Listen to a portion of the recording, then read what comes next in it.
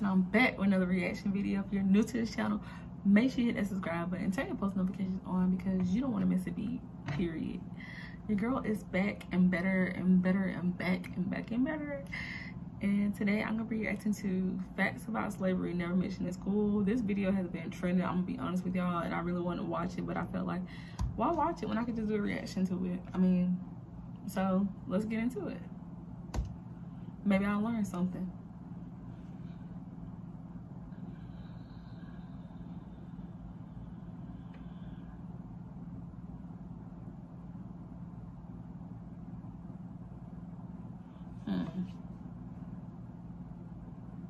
The instrumental use of the history of slavery today also underlies the claim that slavery grew out of racism. For most of its long history, which includes most of the history of the human race, slavery was largely not the enslavement of racially different people, for oh, the simple reason that only in recent centuries has either the technology or the wealth existed to go to another continent to get slaves and transport them en masse across an ocean. People were enslaved because they were vulnerable, not because of how they looked.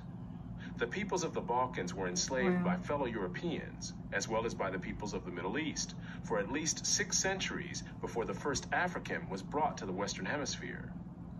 Before the modern era, by and large, Europeans enslaved other Europeans, Asians enslaved other Asians, Africans enslaved other Africans, hmm. and the indigenous peoples of the Western Hemisphere enslaved other indigenous peoples of the Western Hemisphere.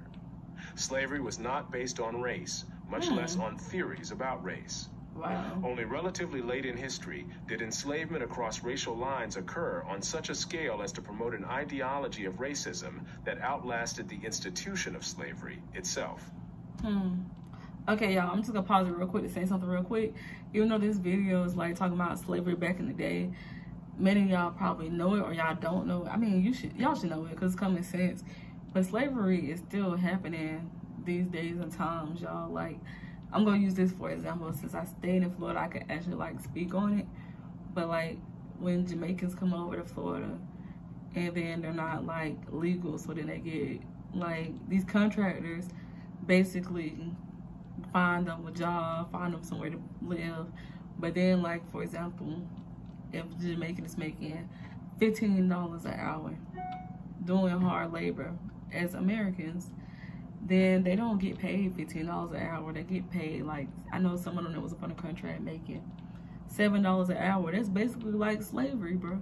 Like, even though you're still getting something in exchange, but I mean, they still got to, at that $7 an hour, they still gotta pay for their living. They still gotta pay for transportation. That really is slavery for real because y'all barely paying them people and they doing all this hard work. But let's continue. Wherever a separate people were enslaved, they were disdained or despised, whether they were different by country, religion, caste, race, or tribe. In East Africa, the Maasai were feared slave raiders, and oh other African tribes, either alone or in conjunction with Arabs, enslaved their more vulnerable neighbors.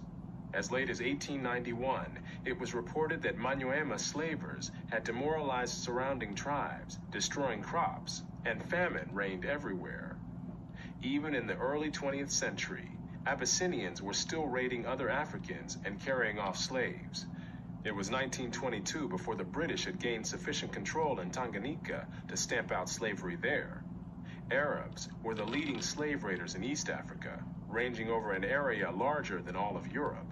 The total number hmm. of slaves exported from East Africa during the 19th century has been estimated to be at least 2 million. Whoa, I was going to say The form in which the story of slavery has reached most people today has been along the lines of the best-selling book and widely watched television miniseries Roots by Alex Haley. Oh my gosh, y'all, I'm sorry. But Roots is a movie that I freaking hate. I hate that freaking movie with a passion. On the historical accuracy of Roots, Haley said, I tried to give my people a myth to live by. This instrumental use of history, or purported history, is open to the same objections as other instrumental myth making. Oh my God! Why y'all had to throw an ad in here? press that skip button. Are you ready oh, to yes, your psychology degree? You wait until I can skip it. There it goes. Cause why y'all throwing ads in there anyways? Like y'all messing up my freaking video. This is about to piss This is about to make me very angry. I just couldn't think of another word. Despite the impression created by Roots, during the era of the massive slave trade from West Africa, a white man was more likely to catch malaria in Africa than to catch slaves himself. The average life expectancy of a white man in the interior of sub-Saharan Africa at that time was less than one year. By and large, men from Europe or the Western Hemisphere came to the coasts of Africa, bought their slaves, and left as soon as possible. Even so, the death rates among the white crews of the ships carrying slaves to the Western Hemisphere were as high as the death rates among the slaves themselves. Wow. It was only much later, after quinine and other medical measures enabled Europeans to survive where there were tropical diseases, was it possible for them to invade Africa in I'm force sorry, y'all, but these and pictures are very establish empires there.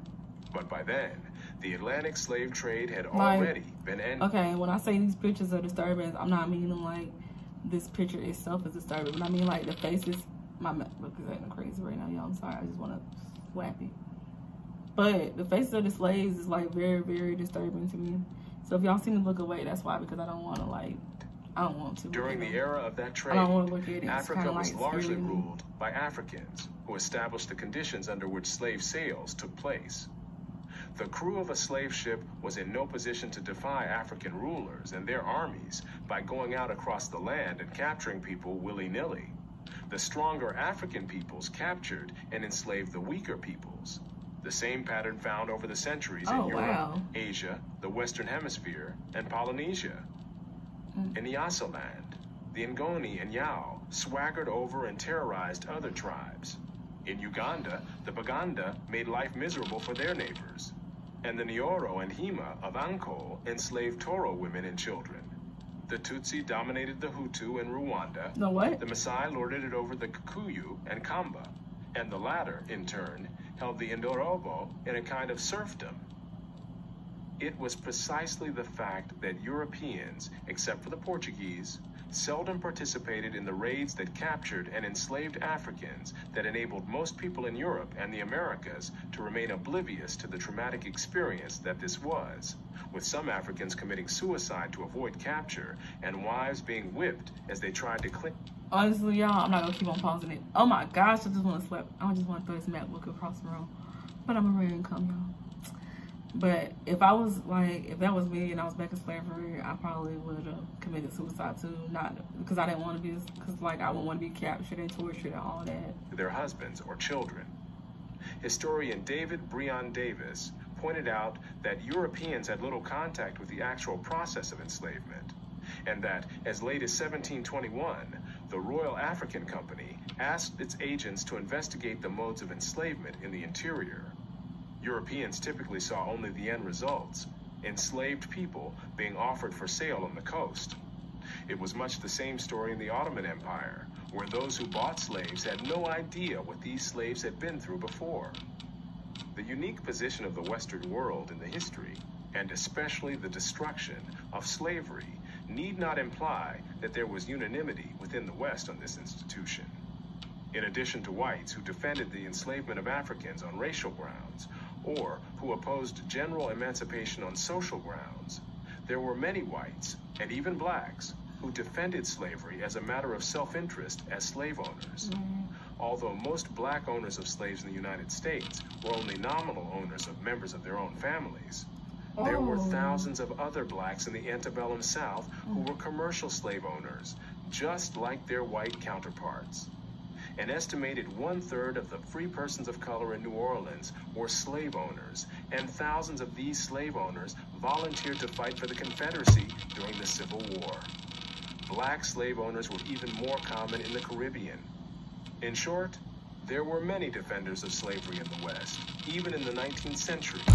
And outside the West, slavery was too widely accepted to require defense. No other nation ended slavery in the same way as the United States did, and few ended it after so short a struggle, as history is measured. How and why did slavery end in most of the world? There were two major processes. Over the centuries, as more and more territories around the world consolidated into nation states with their own armies and navies, Raiding those territories to capture and enslave the people who lived within them became more hazardous in itself and also risked military retaliation against the countries from which the raiders came. Mm-hmm. Thus, more and more peoples became off limits to slave raiders over time. Put differently, the areas which remained subject to slave raiding over the centuries were primarily those where the people lived in smaller or weaker societies. Such societies continued to exist where it was difficult, for geographic or other reasons, to consolidate large areas under one government. This was true of the Balkans, the backwaters of Asia, and much of sub-Saharan Africa. By the early modern era, sub-Saharan Africa, with its numerous and severe geographic handicaps, was one of the last remaining areas from which vast numbers of people could be enslaved. Wow, y'all. Y'all, they really, really, really need to start teaching the truth in school because, like, like I said, the I, I want to say we watched that movie. Let me turn this off because this is getting on my nerves. This laptop is getting on my nerves, and I'm done with videos for today, y'all. Because my laptop is acting stupid, so I gotta drop it off at the Apple store tomorrow. But yes, y'all. Mm, I really feel like they should start teaching the truth in school so people won't be like so mad. Me personally, like I'm just like I'm neutral to everything. Like I don't know. I just take it with a grain of salt. Whatever. It is what it is, baby. That was back in the day. This is now. This generation is not like the generation back in the day.